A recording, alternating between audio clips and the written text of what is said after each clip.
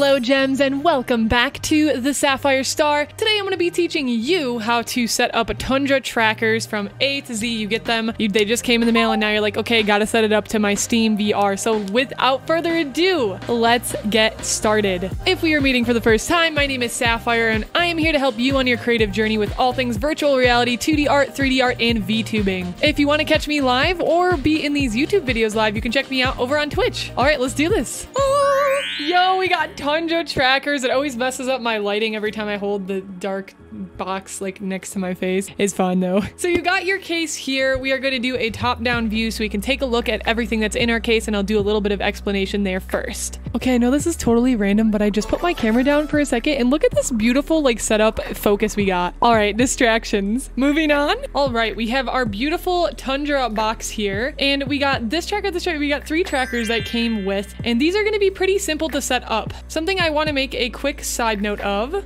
is the ends that they come with. Now I swapped them out with the additional little bars that they came with. So initially they will come with, with pallets like these to hook up with your regular track straps that the Tundras come with. Now I'm using different track straps that are from my HTC Vive full body setup and there's little compartments that these come with if you want to still use those. I recommend those track straps for tracking over the ones that the Tundra comes with. I'll drop the link in the bio and you'll also see a picture here of what those other ones look like. You will need to swap this out with this with a little baby screwdriver, but if you're ready to go otherwise, we're gonna hop over into downloading Steam VR, which is gonna be your first step before you turn on your trackers or anything like that. So the first thing you're gonna want to get is Steam VR. So we'll find Steam VR here. You will download and install it. I already downloaded and installed mine, but you should have a big install button right here. And once it's done going, you can click launch. You also have the VR button up here where you could start Steam VR through there or right here. Usually I start it here. If you already have a headset, if you have,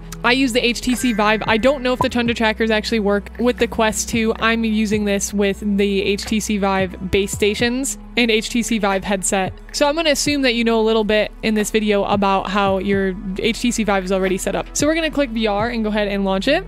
And you'll have this little icon here that shows you everything that's plugged in. So if you're using the HTC Vive, say you don't have any full body yet, these are your two base stations, these are your two controllers, and this is your headset. Now we want to ad, a dad, we want to a dad, wow. we want to add our Tundra trackers in here. The first thing that you want to do is you're going to want to plug in your dongle, which is going to keep track and be able to read. It's going to be a part of what reads where your trackers are on your body. This is what your dongle looks like. It should come in your case with your Tundra trackers. It's this long USB type stick, and you want to make sure you're plugging this into a 3.0 USB port. It's going to look like this. I'll show you on screen. They're blue ports to make sure that your tracking is happening as fast as possible. So make sure you go ahead and plug this into a blue slot on your PC, and I will do that right now. So this is what the 3.0 USB port looks like. You will plug the dongle directly into that. Perfect. So next we have our, our dongle, which we just plugged in, which is fantastic. And the next thing you are going to do is, well, you want to make sure they're charged at first. I believe when I first got my Tundra trackers that they were charged and I did not have to charge them, but you may have to charge yours first. If that's the case, your Tundra trackers come with these little charge ports right here. You'll plug this end here, and then you will plug this USB either into your computer or you can plug it into one of the USB like little Apple Cube things and plug it into the wall. All right, so next what you're gonna do is there's a button here on top. You're going to click that and you'll see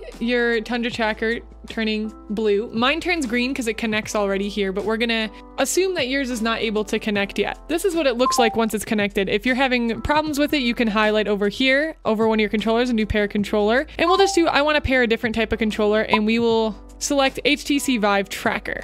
And then what you'll do is you will click this button on the top here and you will hold it until it's blinking blue like that and then it will say your controller is now connected. So it should be able to find it then and connect it. And then you'll do the same thing with all your three other trackers as you'll connect. So we give it a second and then it will connect it. I just held my controller or the or the I held the Tundra tracker back here a little bit so that my dongle and my base stations can pick it up because my base stations are at the corners of my room right now. So that's how you set up uh, the Tundra trackers and then it should work smoothly with everything else. Do not wear nails when you're trying to get Tundra trackers out of the case because it does not, it does not work out. I'm like, is an example of what the Tundra trackers look like once they're connected in the game called VR Chat. This is mostly what I use full body tracking for. It's one of my favorite games, and the Tundra trackers do a pretty good job at tracking the full body tracking on your character. All right, Gems, it's been wild. I've lost like two Wow. nails, three, two nails in the process of doing that whole VR tracking thing, and my hair is looking like Justin Bieber right now. But we learned how to set up the Tundra trackers. We saw a little bit of insight in how they look. One of the next videos I'll be working on is a side-by-side video of the Tundra versus the Vive trackers and different poses and positions of what your character in VR chat will look like and what the difference is there. Super excited about that, so make sure you hit that subscribe button if you are interested in seeing that video coming out next. And if you're looking for a video to watch next, you should check out one of my podcast videos with one of the top creators in VR. Fio, we had great conversations about virtual reality and the future. Thank you so much for watching, Gems, and we'll see you next time on the Syafire Star. Bye. You say bye, Momo. Goodbye. Goodbye.